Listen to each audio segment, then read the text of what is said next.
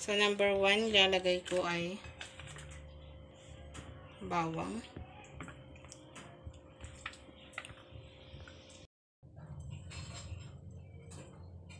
So, ilalagay yung manok, yung bawang. Kailangan make sure yung loob ng kagawa ng chicken malalagyan. Ayan, kasi eh, dapat dito ang gagawin is i-fry. Mas maigi na hindi na tayo gumamit ng oil.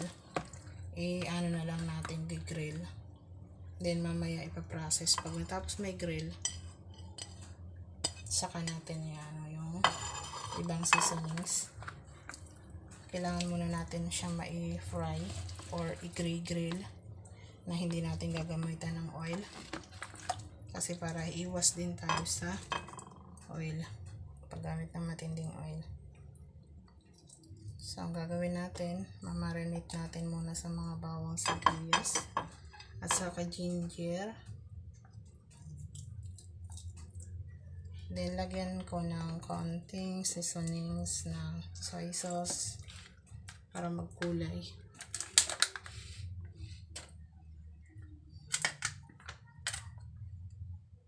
Para magkulay yung chicken. Yan, kulay lang. Yan.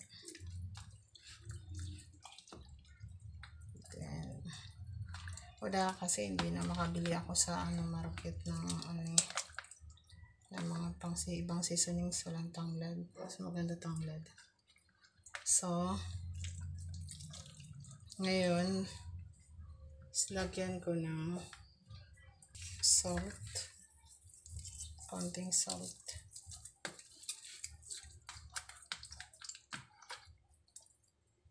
Yan. Hiniwa ko ng ganyan para ma-open siya, madali siya ma-fry. Maturbo dun sa ano, madali siya maluto. So, lagyan ko ng seasonings. Any kind of seasonings. Make sure na ano,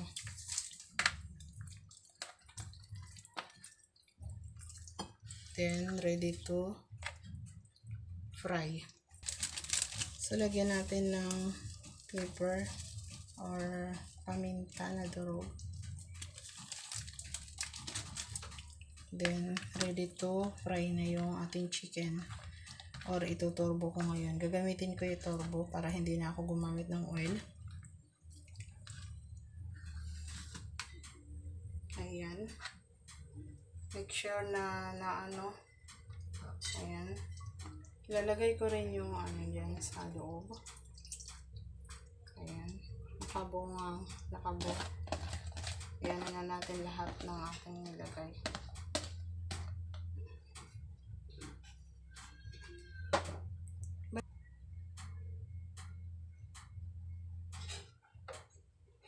So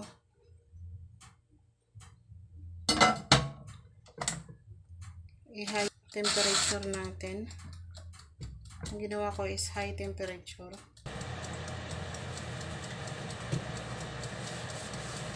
Start ng okay na para sa grill na chicken. Ayan. Ayan. Tignan natin na ilang minuto. Gawin natin yung chicken. Mamaya ulit guys. So, yan na guys, yung resulta ng pagka-grill ng manok. Pansin nyo, medyo color brown na siya. Ayan. Niluluto na na. Kaantay pa tayo ng ilang minuto para medyo mag-color brown na talaga siya ng totally. So, yan na guys. Yung gilid doon, medyo color brown na ng konti. Pero, antay pa natin ng ilang minutes para mag-brown na talaga siya. Ayan, kikita nyo. Light brown na yung nasa mga gilid-gilid niya. Less oil yan. Na ginamit, palang oil na ginamit. Ayan. So guys, ayan na siya. Tingnan lang natin mamaya-maya. Ayan.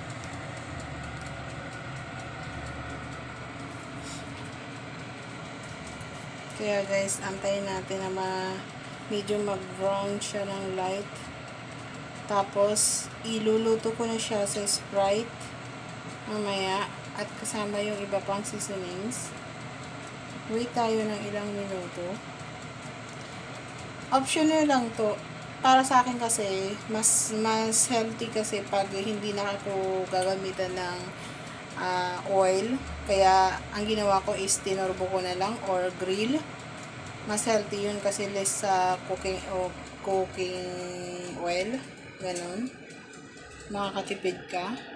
Ayan yung ano niya. Naka high temperature siya. It's, it's uh, ano na, nakikita na natin na light na siya.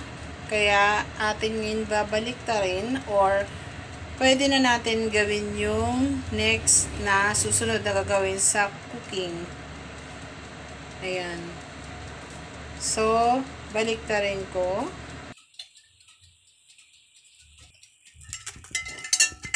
So, balik ta rin natin.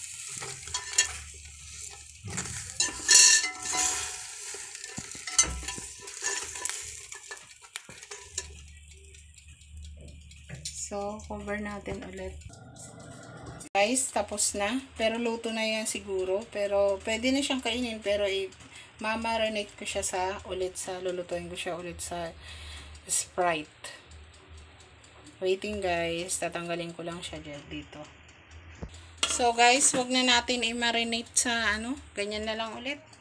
Torbo na chicken. Nagugutom na daw. Nagugutom na ang aking anak na nagtitake ng video. Gutom na. Kaya, ang gagawin natin, kainan na daw. So, so yun yung pinaganuhan ng chicken. Then, ito naman na yung chicken. Kaya, i-slice ko na siya. Ito ng kamay.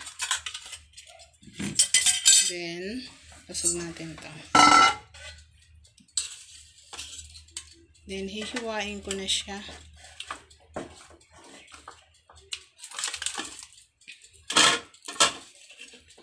Malinis na yung ginawa ko. So, iwan natin.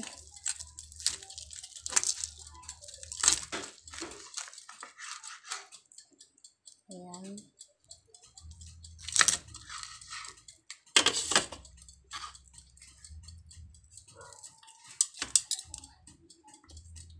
Ayan na guys. So. Parang blurred.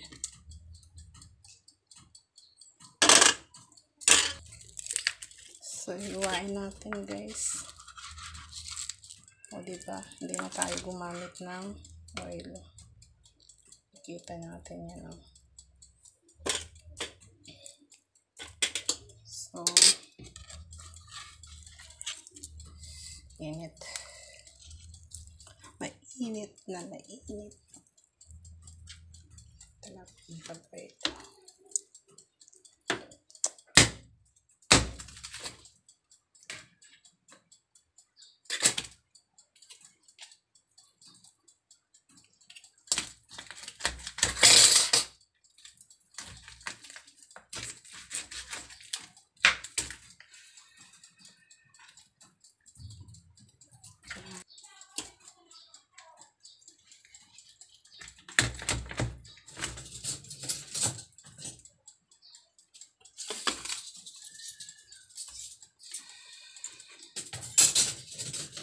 Yan.